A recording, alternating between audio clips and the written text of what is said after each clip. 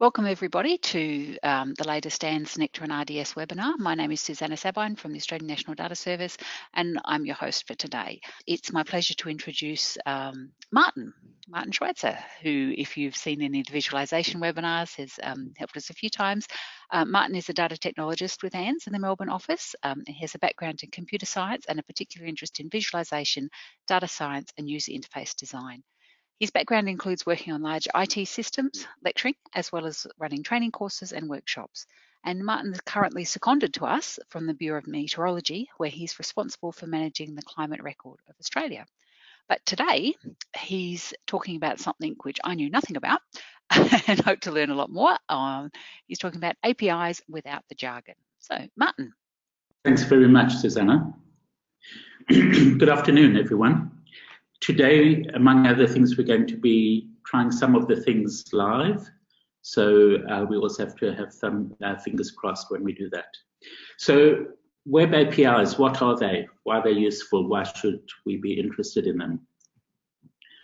So I was asked a question uh, several months ago now about one of the scientists at work came to me and said, can you explain to me, I've been hearing all this stuff about web APIs what exactly is a web API? And I knew that she was very bright. Um, not, not I, I, didn't have to dumb anything down, but she basically she wasn't that interested in the IT part. Uh, she really wanted to know what's useful. So I had to think about how to describe what a web API is to somebody who maybe not technical on the programming side. And the definition I came up with was this. It is a web page that has been optimized to be read by a computer rather than by a human. And I think that really encompasses what web APIs are all about. And I've used this definition for quite a while. Maybe it's not 100% perfect, but it's 99% perfect. And so if you want to know what a web API is, um, that's it. So the rest of the talk will really be elaborating on this idea and giving some examples and giving examples of how we use them, why we use them, and so on. So I'll start it with a little use case. So every morning I like to wake up half an hour before the sun rises. And of course the sun rises at different times every day. So if I want to know what time the sun rises, one of the ways I can find out is I can visit this web page. So I'll just open this web page. And here we go. This is the Norwegian Weather Service. It shows me the weather for Melbourne. But down here, we see sunrise is 7.18. So this morning the sun rose at 7.18.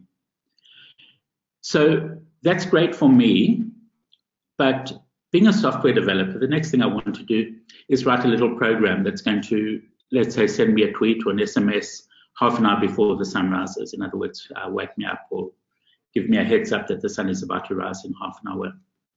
So if I want to do that, one way is to say, okay, go to this website, look for what time the sun rises. And so we can actually view the source code or the source of this page. And if we do, there's a whole lot of stuff there. Um, I'll just go back to the slides because it's a little bit clearer there. So what we see is somewhere on that page, there's the following text. I, I prepared the slide a while back, so that's when the sun was still rising at 6.44, not 7.18. But we see this text. So once we know that that web page contains that text, the next thing we can do is write a little program that look that grabs that page off the internet, looks for the text, and figures out the time. So here's the program. I wrote it in Python. And what we're going to do now is we're going to try and run this little program. So I'll just copy it. And I'm using something called Jupyter Notebook, which allows us to run programs in a web page. So here's my web page here's my program, and I press Shift Enter, that should run the program. And if all goes well, we should see 718.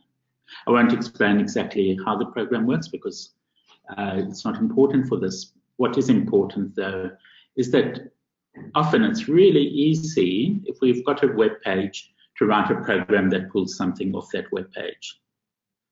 However, as we saw before, we're actually looking for this text inside the web page. And that text has nothing to do with Sunrise. It's simply how they've decided to style the web page. So if they decide today, it would be nice to put the word Sunrise in bold, my program will start, suddenly stop working. Um, if they decide instead of the word sunrise to make it two words, my program will suddenly stop working because it's looking for this exact text. And this is where we get onto web APIs. So let's decide we, we're not going to use this, we want to use the web API. I did a quick Google and I found, uh, sorry, uh, does it work? Yes. Okay. So now I find a web API on the internet. It looks very similar. We've got a URL. The only difference, or the major difference, is in this case, um, we're giving it a latitude and longitude, which happens to be the lat and long of Melbourne. So I'll open this URL, in, sorry, a new page. Let's go to it, open link in new tab. And there we go. So what we see here is similar results. Uh, we've got something called results. Um, and we can see that all we've done is opened a web page. But in this case, the web page doesn't look nice with colors and formatting, etc. It's just text. In other words, it's been optimized for a machine. I'll just show you what it looks like if we format it a bit. So this is the same results, just formatted slightly. And what we see is we've got these curly brackets, and inside what we have are keys and values. So one of the keys is results, and inside that we've got keys and values. So one of the keys inside that is sunrise, and there we've got a time, 8.44 p.m. So that's the first surprise. Why is it 8.44 p.m.? Well, the reason it's 8.44 p.m., we know sun doesn't rise at 8.44 p.m., is because we'll just go back to this page. We see what happened is we gave it a latitude and longitude. So it knows nothing about time zones. So what it does is it returns the time in UTC, Universal Co Coordinated Time. And in this case, it was 9.19 p.m. If we add 10 hours to get Melbourne's time, we get 7.19 a.m., which is the correct result. Just remember, we've got this key results, and inside the key results, we've got sunrise, and that tells us the time. So now we write a Python program to find the sunrise using our API. Um, here's our API, uh, here's our program. Um, this is the URL we saw before that we're looking at, um, Melbourne's latitude, minus 37.734, etc. And this last one is the important one. So I've got this thing that has returned, which we'll call J, and you remember there was something inside there called results, and inside results there was something called sunrise. So let's now run this program. I'll just copy it here and we'll go back to our Jupyter notebook and we'll paste it in there and we'll run it. And once again, there's probably a small rounding error there because um, this one gives us 719, whereas that one gave us 718. But it's close enough that uh, we're comfortable. There's also a couple of ways in which sunrise is defined. So we now see how we can use an API and what use it is. And of course, now that we've got this API, we can substitute in any lat long. So we could go back to where we've got this API and um, we can go a few degrees south, let's say minus 40 south. So for um, Melbourne, it was 9.15. and we'll just go to this call, this web page, and um, sunrise is now 9.26. So as we go south, in winter, the sunrise is later. Okay, so at this stage, and I've um, spoken about web APIs before, I often get the question, so is the web API the program that is behind this? Is it the software? Or is it the protocol? Is it that format that we saw the data in is a format that's known as JSON? So does the web API mean that it comes in JSON? Or is it the data that we're getting back or the format? Um, which part of this is the web API? And it's a tricky question, but what I say is it's sort of none of those specifically, and in a sense, it's all of that. So what the web API is, is it is a contract between a supplier and a consumer that a particular URL will return particular data, and maybe I could add in a particular format. In other words, it's that contract that defines the API. It's saying that if you go to this URL, we'll give you back the time of sunrise in this particular format in UTC. So that's what the web API is. And of course, in order to do that, you need the software, you need the protocol, you need the data and the format, etc.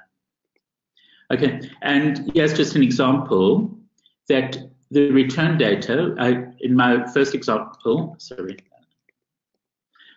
I gave it as JSON, but people may be familiar with other formats. One other very common format is one called XML. Exactly the same results, uh, the same sunset under that uh, tag results, but in a different format. So the format doesn't have to be JSON. And further on, we'll see other examples where we're returning data that aren't exactly JSON. So if you've ever sat in a meeting room with a bunch of developers and people have said, oh, um, we need an API to deliver this data, to present this data, to write this website.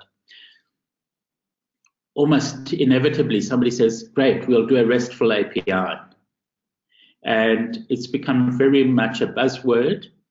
What does it mean? Well, RESTful is an abbreviation of representational state transfer. And the idea and the concepts were come from a dissertation which was written by Guy Roy, Roy Fielding in 2000.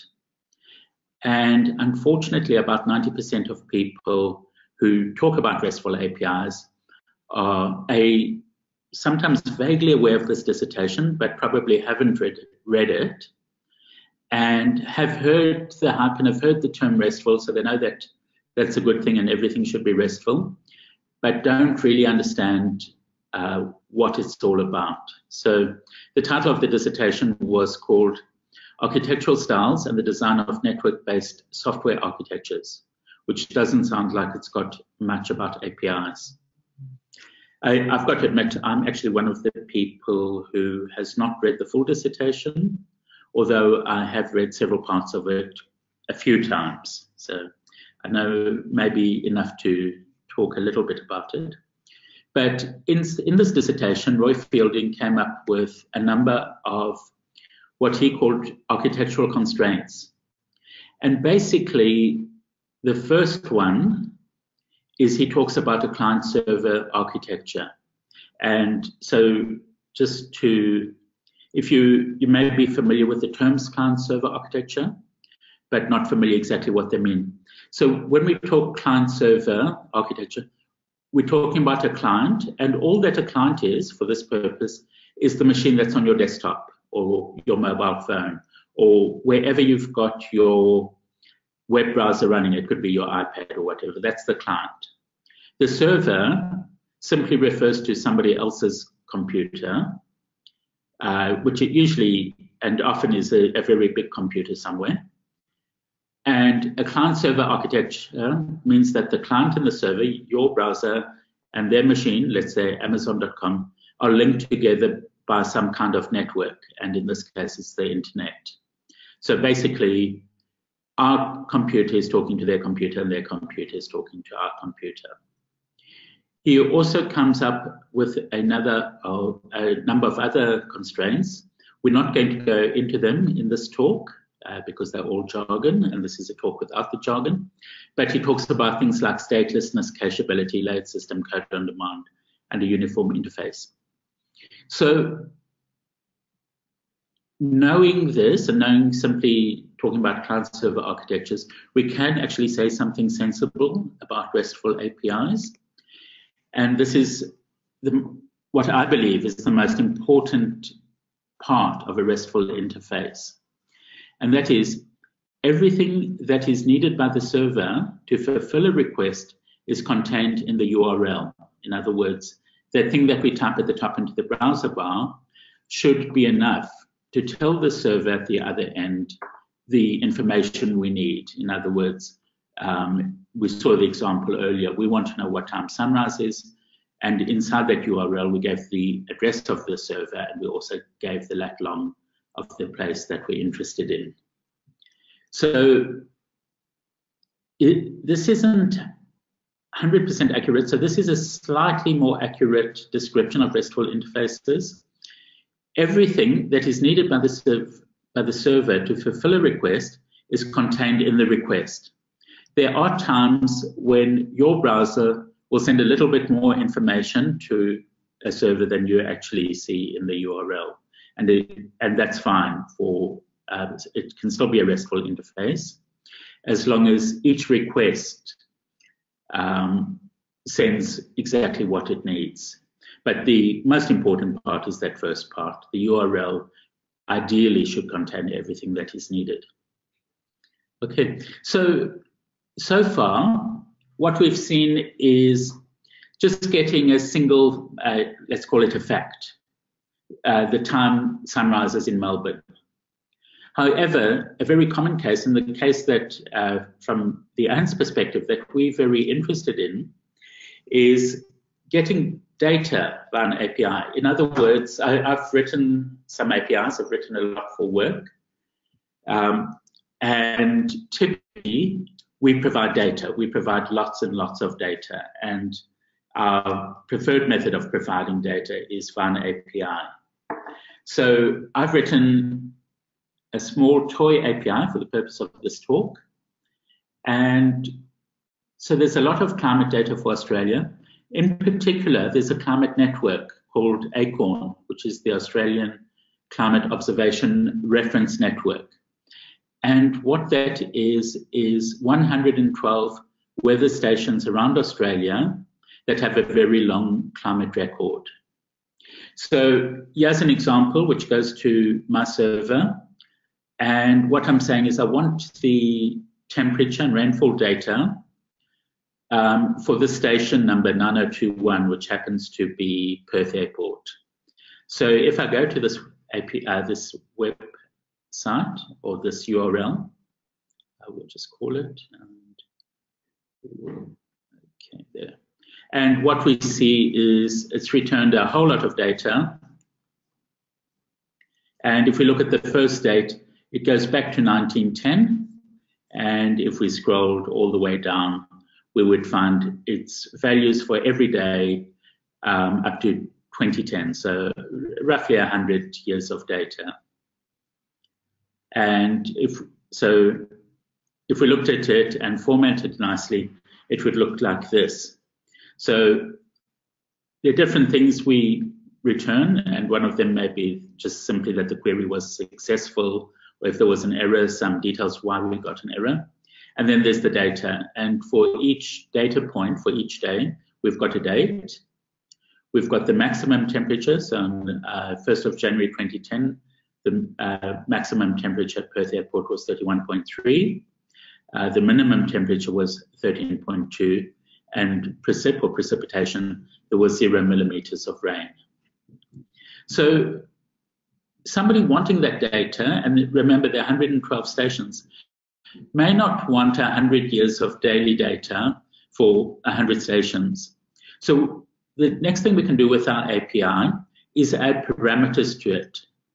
So we want to, for example, be able to add a start and end date. So we'll go back to this and it's been designed so I can say start date equals the 1st of January 2010 and I run it again and very quickly I get my new data back.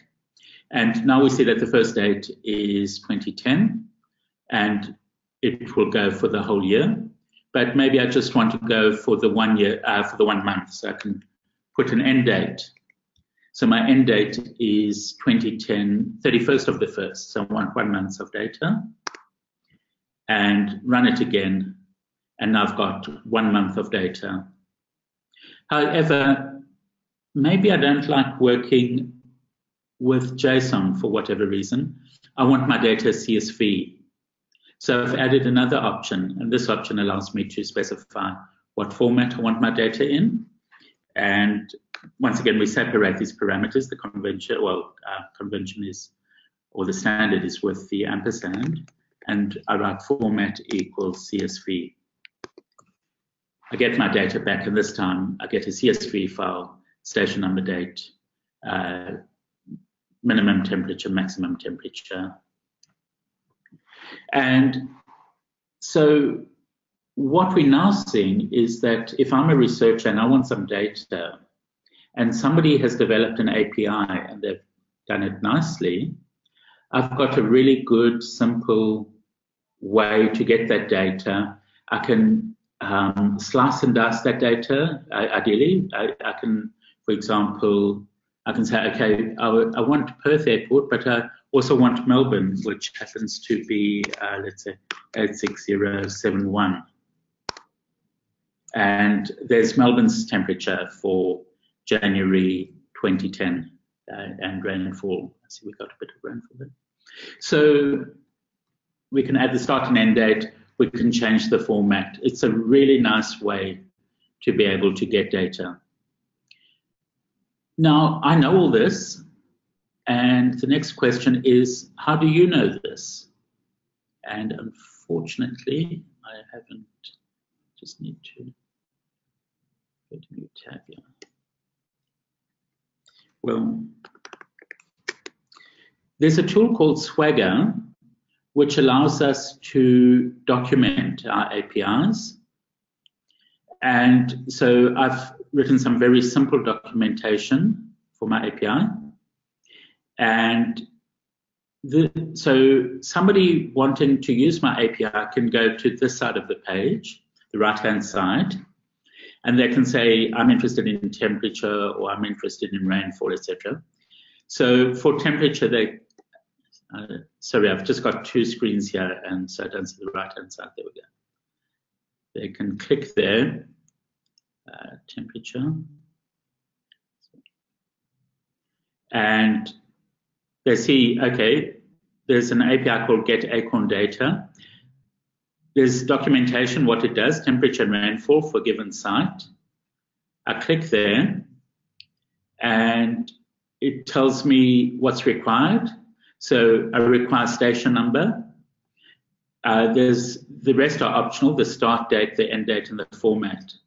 And it says I can try it out. So I click there and it says, okay, give me a station number. So I type in 86071. Um, for this one, we will put in, uh, let's put in a start date, 2010 101 and an end date 2010 03, let's say um, January, March 31. And I'll say execute. So in this documentation, we can actually execute a query and it also shows us, for example, yeah, what URL we would need to use to get that data. There's another API I've got here because one thing you may say to me is, well, this is great, but I don't know what these station numbers are. Well, I've written an API to get information about the stations, and that's over here. And um, we've got one parameter uh, which is the station name, try it out. And so if this works, if I type in PER, I want to find all stations um, with PER, maybe Perth and um, etc. And we see we get this result, this response. We get Perth, station number 9021. Um, Esperance, because it's got PER in the name. Um, we get the station number. We also get a lot of metadata about the station, uh, its elevation, its latitude, its longitude, uh, the date it was opened, etc. So if I wanted to find out information about uh, Laverton or whatever, I, would, I could go here, type Laverton, execute, find out what the station number is for Laverton, and then go and get the data. The left-hand side is how I've specified what you see on the right-hand side. And I've specified it using a format or a language called YAML, yet another markup language. And what this means is that because it's a formal language, that this specification is also machine readable. So the right-hand side is readable by humans. The left-hand side is readable by machines. So a machine can go off, find out how to use the API and actually make queries against it. So that's our documentation. Now, in the examples we've seen so far, we've just seen text from the API, but we can get more than text. And yeah, example. So I guess the first thing is to have a look at this URL, which actually happens to be quite a long URL. And we'll just go to that URL and see what it uh, happens when we look at it. So there's the URL there. And this is returned an image. And if you look carefully at the image, it's the eastern side of Australia. So the next question may be, well, what's the point of a URL that returns an image? Well, here's an application, a little web app that I wrote a couple of years back. And what this does is a, it presents a map of Australia, and if we look carefully, uh, we'll recognize um, that map from the previous one. But it, what it actually does is it allows us to click on a point on the map, and it gives us three words. Uh, so for that point, the three words are frequent, expense, find. If we click somewhere near Brisbane, uh, we get three different words, audience, replace, accept. So if I go somewhere and type in audience, replace, accept, it should take me back to that previous point where I was near Brisbane, which it does. Okay, but the important part of this is we've got this map. We can zoom in. In fact, we can zoom in quite a lot. Um, I forget how much I allowed people to zoom in. I think actually down to the street level. Okay. Now, I used a JavaScript or web tool called Leaflet to create this map on my web page. I also knew that there was something which supplied tiles, map tiles, what we're seeing here as map tiles, called Bright Earth E Atlas.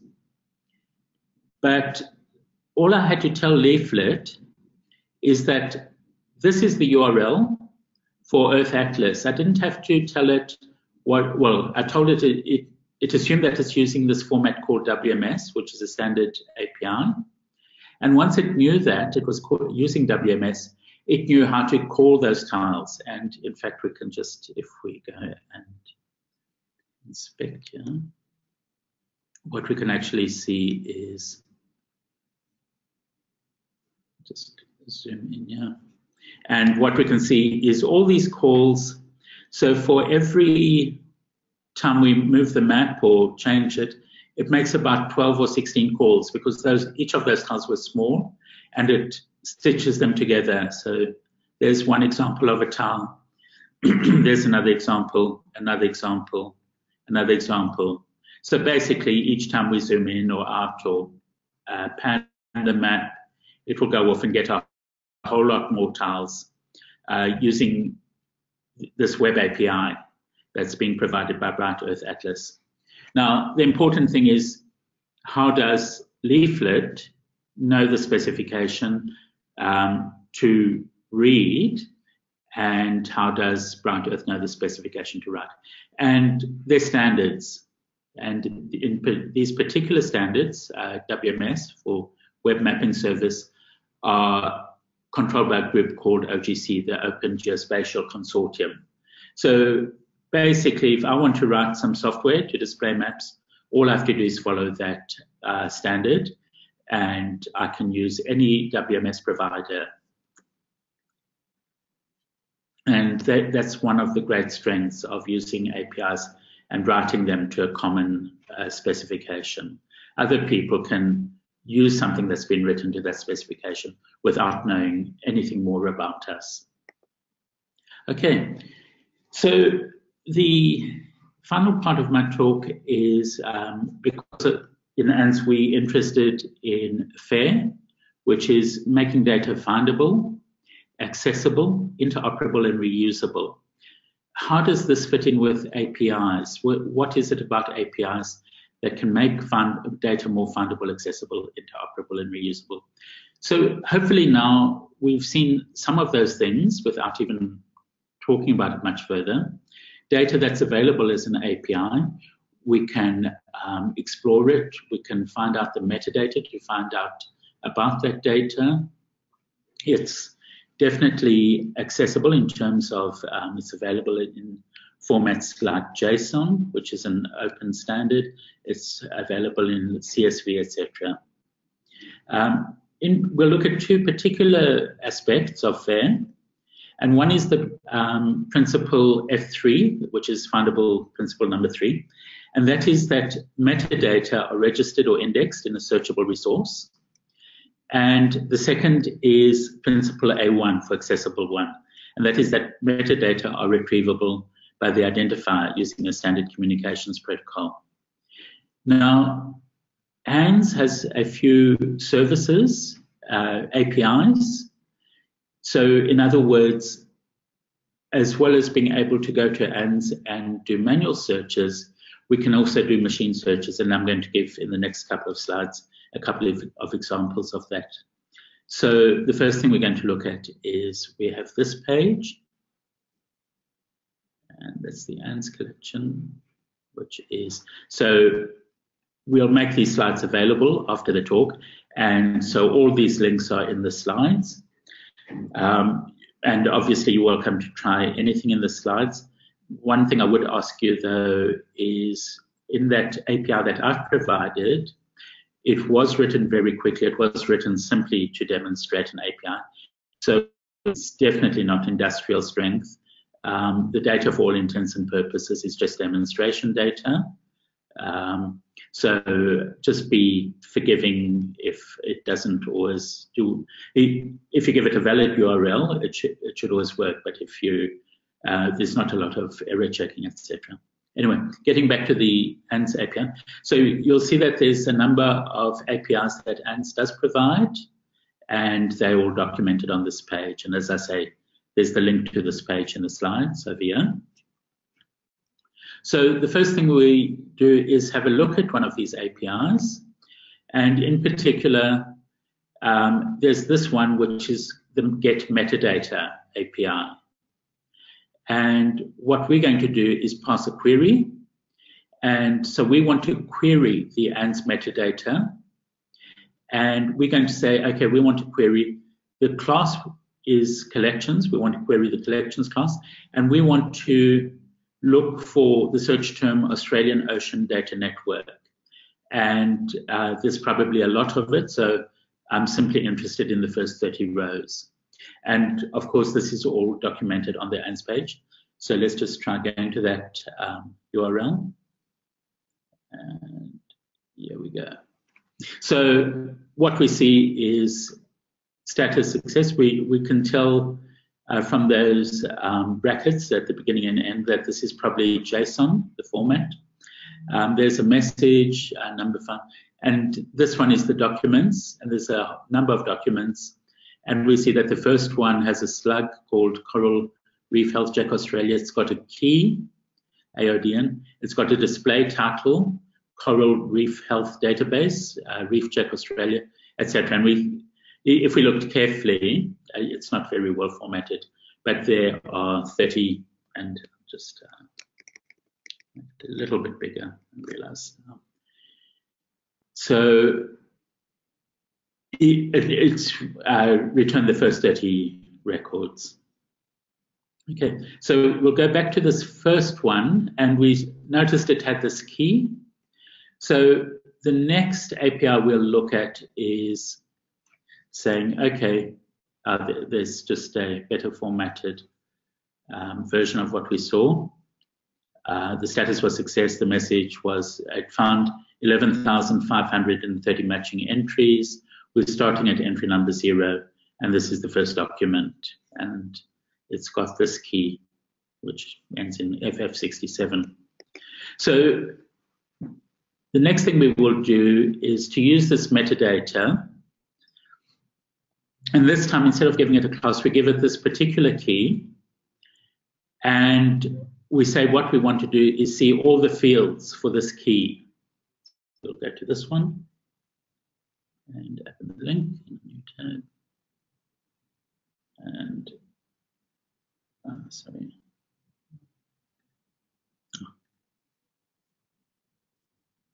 Ah, yes, and it, it's not easy to see this once again. However, what I'll do is go back to the slide, and uh, if we had formatted it, we would have seen the following. So using these APIs allows us either manually or by machine to get a whole lot of rich data. There's another part of FAIR is to use standard vocabularies and, and supports a number of vocabulary services. And in this particular one, we're going to look at one example. In this uh, example, we're going to look at the geology vocabulary. And we'll just quickly go to this page over there. So it did say, if we look at the URL, API slash LDA, etc. However, when we look at the results, it looks like a human readable form. Well, up top here, we also see there's JSON, RDF, text, etc. So either we can click on JSON and we see we get exactly the same data back, but this time in JSON.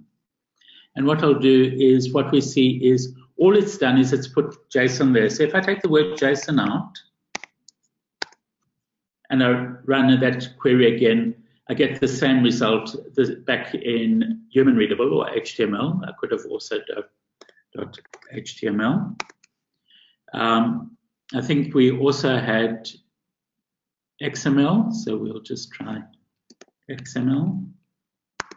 And this time we get the, exactly the same data back but in a different format. And that's one of the things I alluded to earlier, that we can get the same data in different formats. So that's pretty close to what we're going to say about APIs. I thought just a nice note to end it would be to look at how APIs are regarded in the wider world, and people may have heard of Amazon and the CEO, uh, sorry, um, I've missed one slide. Um, no, I haven't. It's, uh, my slides are the wrong way around. Uh, so the, the, chief executive officer of Amazon is a guy, Jeff Bezos, and he wrote a memo to staff. And in the memo, he talks about service interfaces, but another word for service interfaces is APIs. And this is a memo that was accidentally leaked. And if you go to this URL, you'll find um, this post where the person writes about the memo. So what did Jeff Bezos, what was his view on APIs? Well, he said, number one, all teams will henceforth expose their data and functionality through APIs, uh, or in his words, service interfaces. teams must communicate with each other through these interfaces. Three, there will be no other form of inter-process communication allowed. Four, it doesn't matter what technology they use. And I'll quickly say one of the very important things about APIs is that if I've got an API, let's say for my um, climate data, and I'm using, uh, let's say, PostgreSQL, and, and you're using my API to get your data, and each day you're running a query that queries my API. And next month I decide, okay, I'm going to actually change to Oracle. And I keep my API. You will have no idea that I've changed your Oracle because the API insulates you from any changes in the underlying technology. And that's one of the huge strengths of APIs, that they do insulate you from what that underlying technology is. Anyway, getting back to Jeff Bezos. Five, all APIs, without exception, must be designed from the ground up to be externalizable.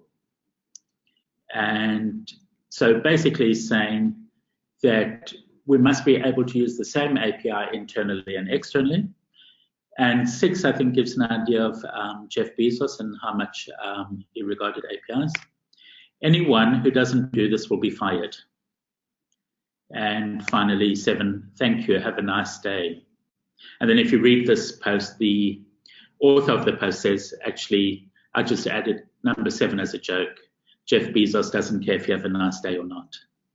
So I, I was going to um, mention one other thing. So while you can access the ANDS via API, you may also be interested in, okay, what data that's provided by RDA is available um, from ANDS. And this is currently an ongoing project and ANDS is busy um, collating and collecting all these data sets that are available via APIs. And so there's a page that's talking about the current set, um, current state and future direction of um, enhancing data service discovery. So uh, watch the space.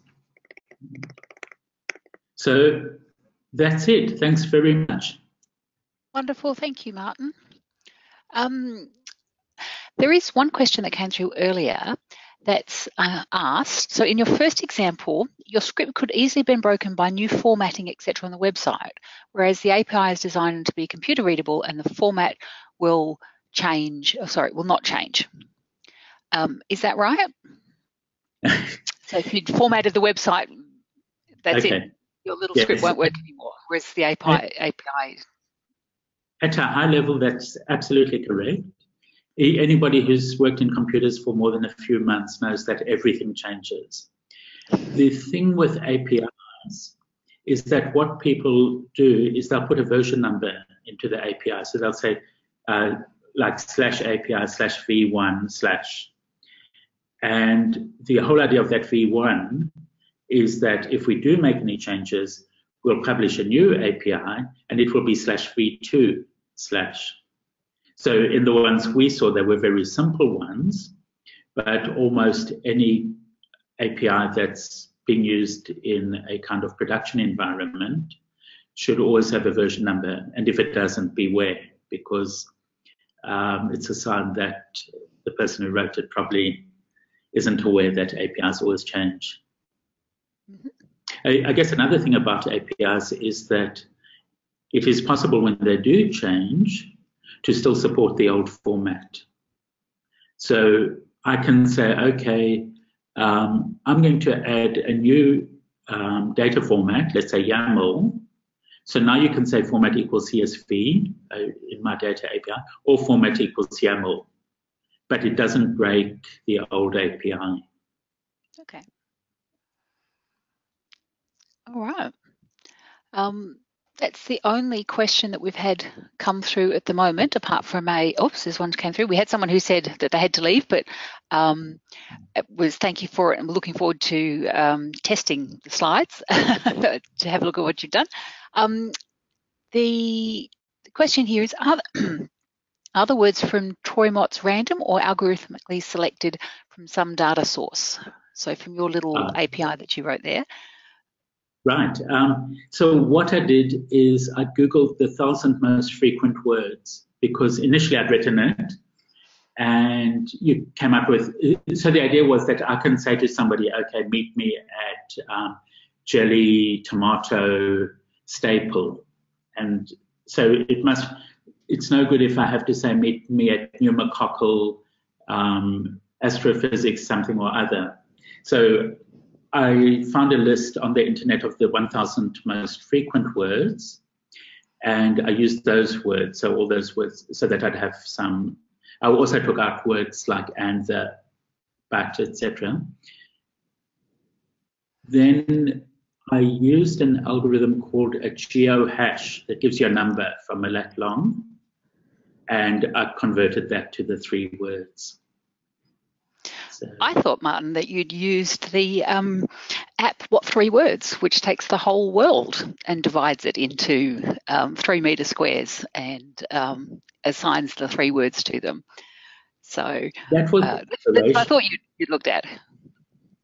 I, that was definitely the inspiration. So what happened is that um, three words went a bit viral at work, mm-hmm. and I said to people, "Look, they, they, said, wow, isn't this awesome?" I said, "It's a really easy thing to write. If you know, shouldn't take more than a day or so."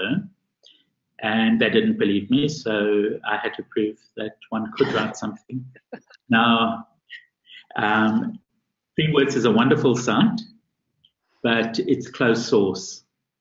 And I thought oh. wonderful if there was an open source, you know, version of that. And they did so, the same yeah. thing. Okay.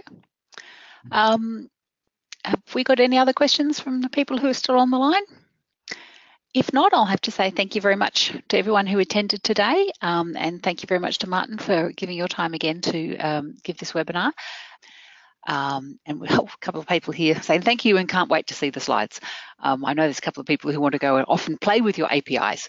All right, thank you every, um, everyone for coming.